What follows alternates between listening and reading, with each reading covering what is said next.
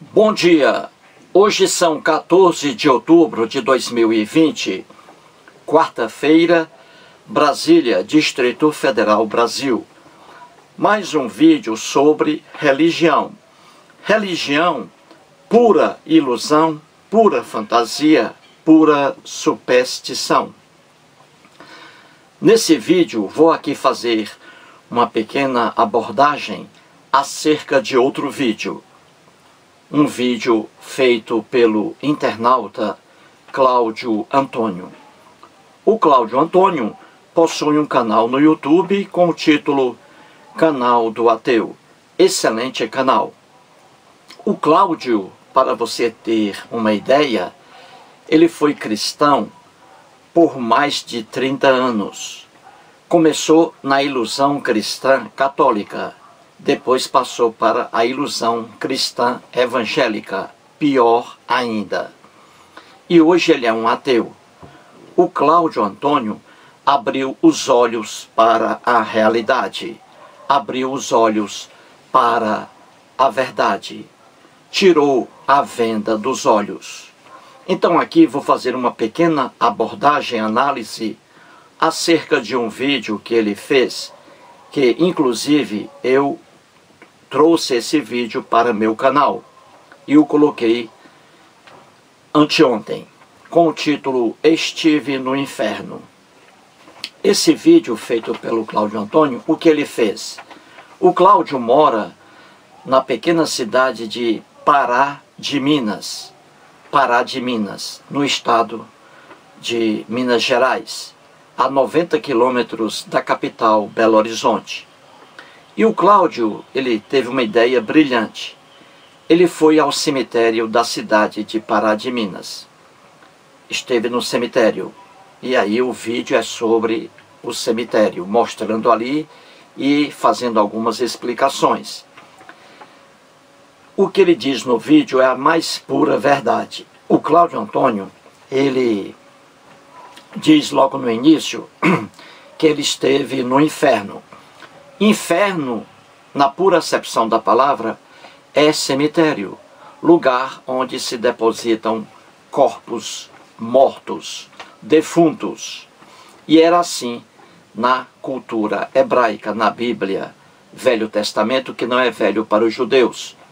Inferno ali significa lugar onde os cadáveres são enterrados, sepultados. Inferno, na pura acepção da palavra, é isso aí.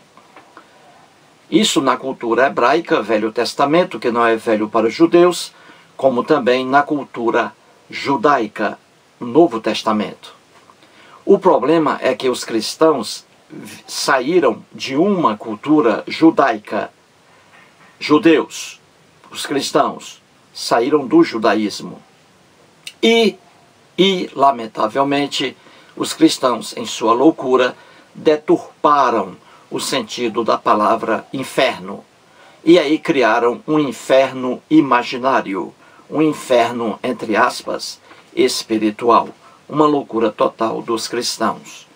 Na pura acepção da palavra, inferno, na verdade, é apenas cemitério, lugar onde são depositados cadáveres e nada mais. O Cláudio Antônio começa assim seu maravilhoso vídeo. E ao longo desse vídeo, o Cláudio Antônio vai explicando, mostrando ali que sepultar corpos humanos é uma loucura.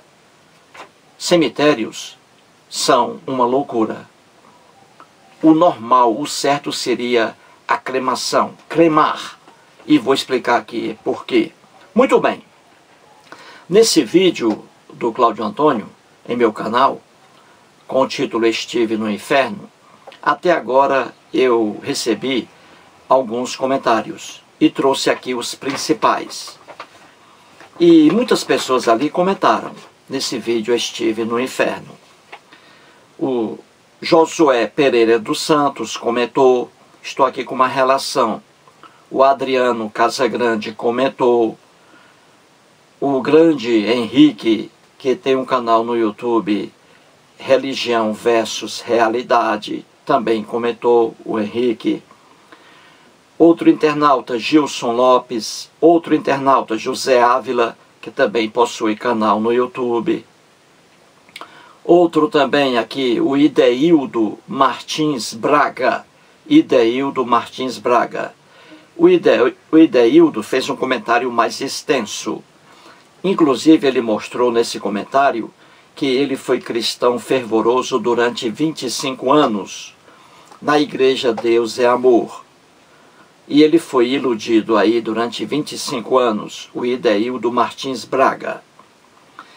E também aqui comentou o Davi, o grande Davi, um rapaz inteligente, simpático, gaiato, cômico, que possui um canal no YouTube com o título Seja Ateu, também comentou. E como sempre aí em meus vídeos, também comentou o internauta Edson Martins. O Edson Martins, igualmente a mim, Eustáquio, nunca foi religioso. Nasceu ateu, continua ateu e vai morrer ateu, o Edson Martins, igualmente a mim, nunca foi religioso. Pois bem, o Edson Martins comentou também, e ele fez o seguinte comentário bem curto sobre o vídeo do Cláudio Antônio. Assim escreveu o Edson Martins: Visitar mortos é como visitar quem não nasceu ainda. Visitar mortos é como visitar quem não nasceu ainda. Eis aí a grande a grande mensagem do Edson Martins, que é também uma verdade. Então, gente, o seguinte, é o seguinte: qualquer pessoa, qualquer pessoa que faz uso de seu cérebro realmente para pensar, para raciocinar, qualquer pessoa chega à conclusão de que sepultar corpos humanos é uma loucura, é uma idiotice. Veja bem, o ser humano nasce em uma cultura. Cada ser humano, uma verdade absoluta, verdade absoluta. Cada ser humano nasce numa cultura. Seja clã, seja tribo, seja sociedade que é um agrupamento maior. Verdade absoluta, grave bem, verdade absoluta. Cada pessoa nasce numa cultura. Nasce numa cultura. Se uma mulher está sozinha, o marido morreu, ela vive no lugar sozinha, no lugar sozinha. Ela vem a parir, o marido morreu, só que a, deixou a mulher grávida e ela vem a parir depois, ela mora sozinha no lugar, e ela vem a parir depois, essa criança, essa criança nasce numa cultura, a cultura da mãe. A mãe vai transferir sua cultura para a criança, entendeu? Verdade absoluta. Cada ser humano nasce numa cultura e recebe os elementos dessa cultura.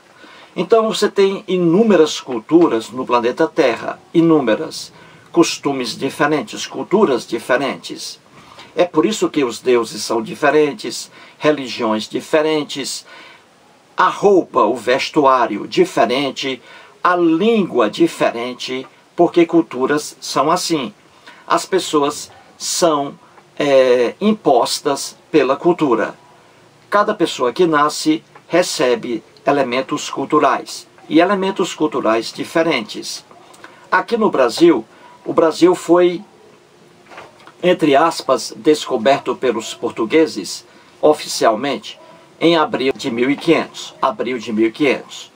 Os portugueses, obviamente, encontraram aqui os índios com suas culturas, entendeu? Com deuses diferentes, é, cultos diferentes, ritos diferentes, línguas diferentes, etc. E o que houve? Houve a invasão de cultura. A cultura portuguesa invadiu a cultura indígena. E a cultura portuguesa trouxe seus elementos para cá e os impuseram aos moradores. Então, os portugueses trouxeram para cá, por exemplo, o vestuário. Índios não usavam roupas. Então os portugueses vieram e colocaram roupas nos índios. Entendeu? Imposição cultural, um absurdo.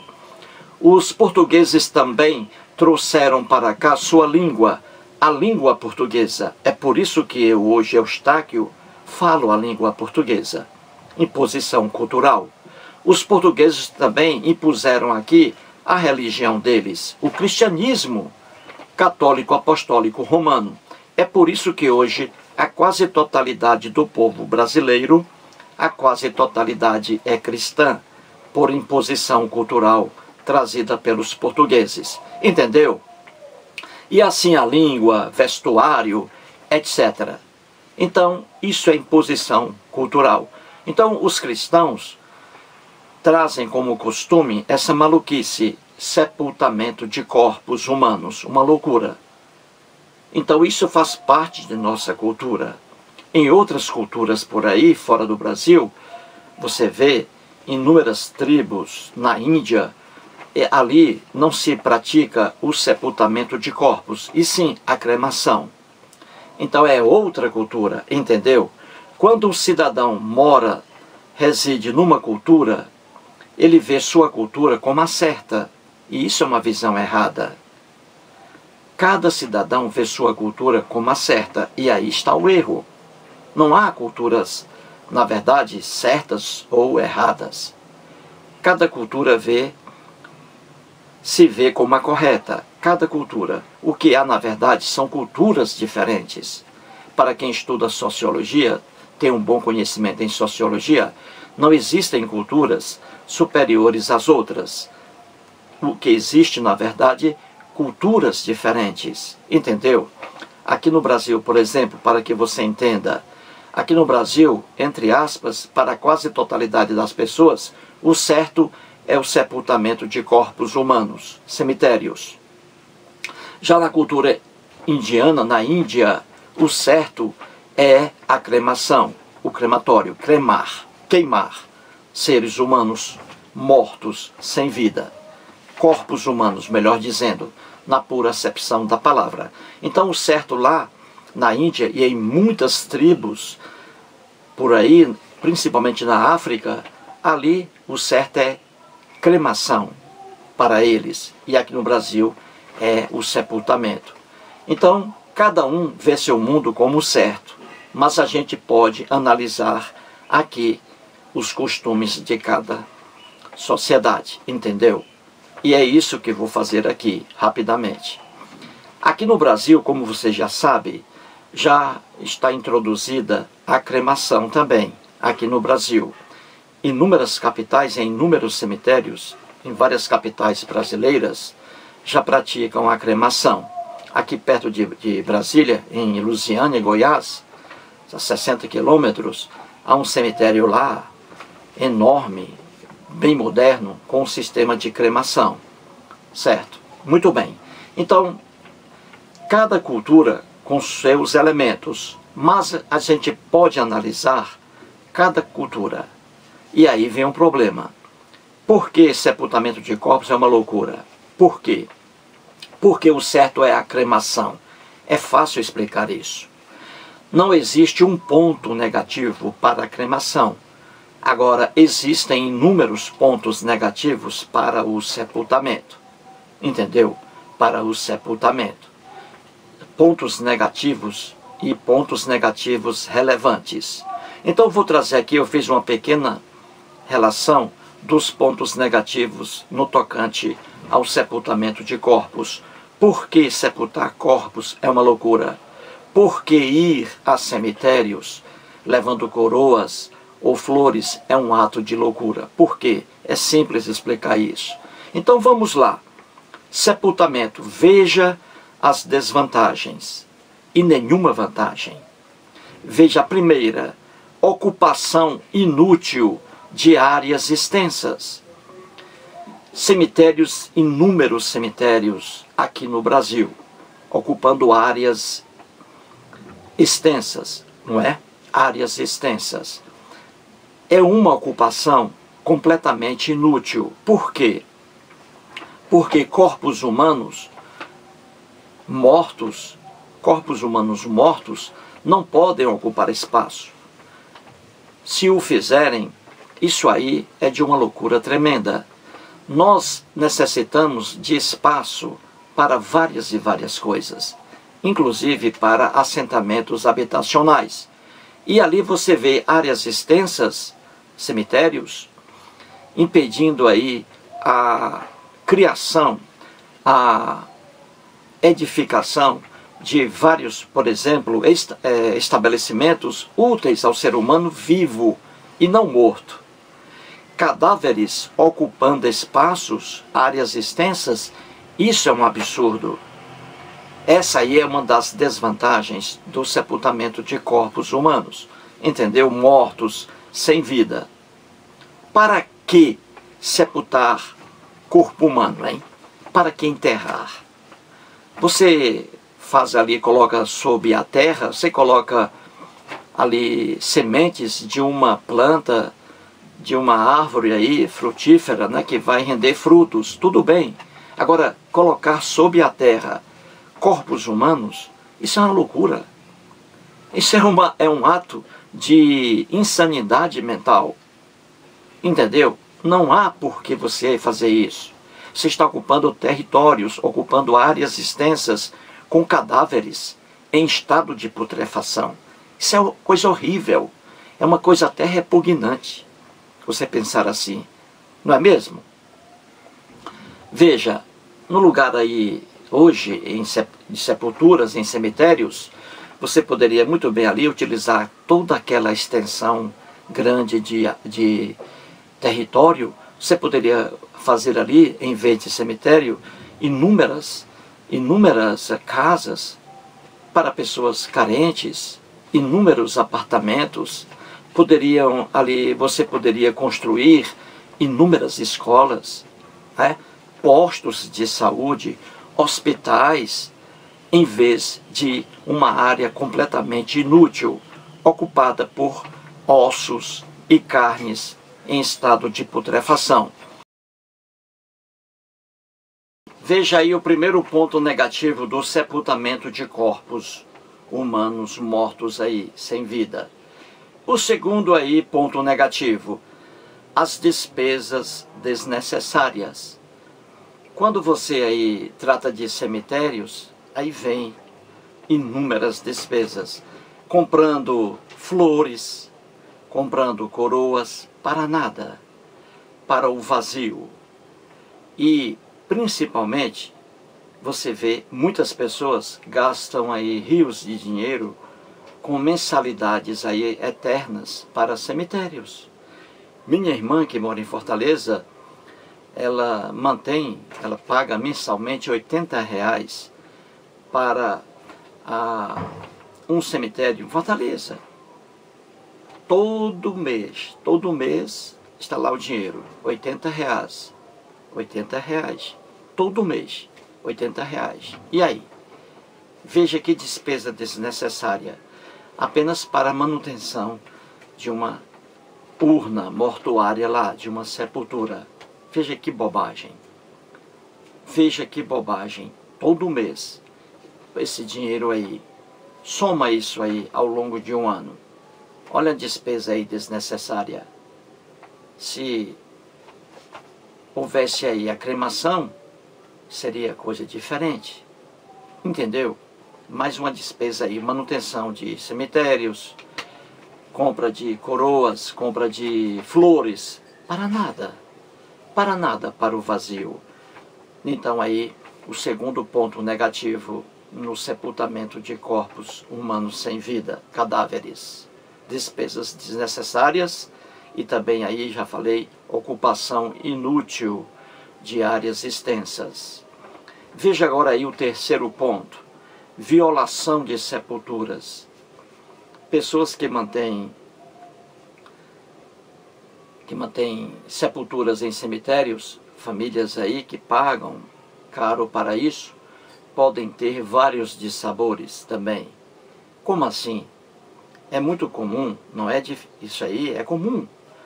Há, Há pessoas que violam sepulturas para os mais diversos fins. Há pessoas que violam sepulturas, arrebentam sepulturas ali. Uma pessoa é sepultada e vai ali uma pessoa completamente sem juízo, arrebenta, viola a sepultura para finalidade principalmente de fazer cometer furtos ali em relação a, a bens que estão ali com os cadáveres, são enterrados ali com os cadáveres. Então, inúmeras pessoas, hum, vamos assim dizer, entre aspas, doentes mentais, violam sepulturas para cometerem ali furtos. Você entendeu? É. E isso aí traz dissabores para os familiares, mais tristeza ainda. E pior ainda, há pessoas que violam sepulturas para fazerem sexo com cadáveres. é, ué, o homem é capaz de tudo, pois existem pessoas que violam sepulturas para fazer sexo com cadáveres. E isso aí é mais um dissabor para os familiares que estão vivos. Mais uma dor por causa do, do sepultamento de corpos humanos. Cremação não haveria isso. Não existe corpo na cremação para você cometer aí, praticar atos sexuais de uma forma doentia. Não há isso na cremação. Entendeu? Agora, o quarto problema no sepultamento de corpos, até mesmo aqui, a contaminação dos lençóis freáticos. É a contaminação, a decomposição de corpos humanos também podem trazer problemas para os lençóis freáticos. Isso é uma realidade. Entendeu? Então veja aí, até agora, quatro pontos negativos. O primeiro, ocupação inútil de áreas extensas. O segundo, despesas desnecessárias. O terceiro, violação de sepulturas. O quarto, contaminação dos lençóis freáticos. E muitos ainda problemas que não vou aqui trazer à baila. Mas é o que eu digo: sepultar corpos humanos sem vida é uma loucura. Não há justificativa alguma, entendeu? É um ato irracional. A gente vê por aí uma mãe, coitada, que perdeu um filho, diz assim: Vou visitar meu filho no cemitério amanhã, dia de finados. Ninguém tem filhos em cemitérios. Ninguém tem mãe em cemitérios. Ninguém tem pai em cemitério. Não tem. É uma loucura dizer, vou visitar meu filho amanhã no cemitério. Não. O filho vivo é totalmente diferente daquilo que está no cemitério. Ali você não tem um filho. Ali são carnes em putrefação, ossos ali, cabelos. Você não tem filho. Um filho não se resume a ossos. Um filho não se resume a cabelos. Um filho não é carne em decomposição. Entendeu? Cadáver não é filho, não é filha, não é esposo, não é pai, não é mãe. Então, sepultar corpos humanos é uma loucura. É uma loucura, você pode analisar isso. A cremação não, a cremação é outra coisa. A cremação é até higiênica. A cremação é até higiênica. Um corpo submetido à cremação não ocupa áreas extensas, não existe isso. Um corpo submetido à cremação, você não gasta dinheiro com despesas desnecessárias, compra de flores, de coroas, manutenção de, de sepulturas, mensalidades, nada disso com a cremação. Ela acaba com tudo isso. Com a cremação não há perigo para a contaminação dos lençóis freáticos. Com a cremação não existe violação, porque não existe corpo algum com a cremação.